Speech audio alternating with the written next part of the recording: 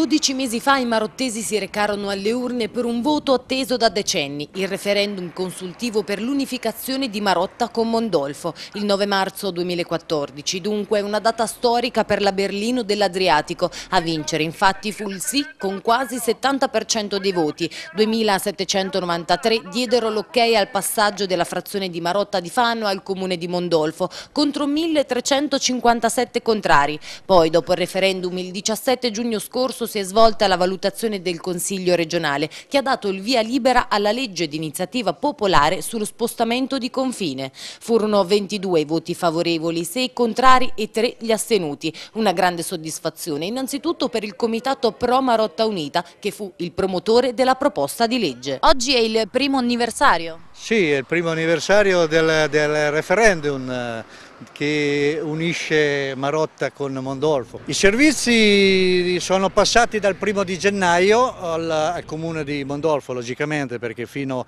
fino al 31 dicembre eh, i cittadini avevano pagato gli oneri a Fane, quindi era giusto che Fano avesse provveduto fino a quella data. Come vivono i cittadini ora? Ci sono ancora dei problemi da risolvere? I problemi dovranno essere risolti soprattutto dal punto di vista non dei servizi ma delle, delle strutture, quindi delle, dei beni i beni che devono passare nel, dal comune di Fano al comune di Mondolfo. C'è anche una proposta eh, sul cambiamento del nome del comune, ecco, a questo proposito? Sì, sì, sì, c'è una proposta fatta alcuni mesi fa dal Presidente del, del Consiglio regionale Vittoriano Solazzi di cambiare il nome dal Mondolfo in Marotta di Mondolfo ha bisogno o della eh, richiesta di un consigliere regionale oppure le 5.000 firme famose da raccogliere.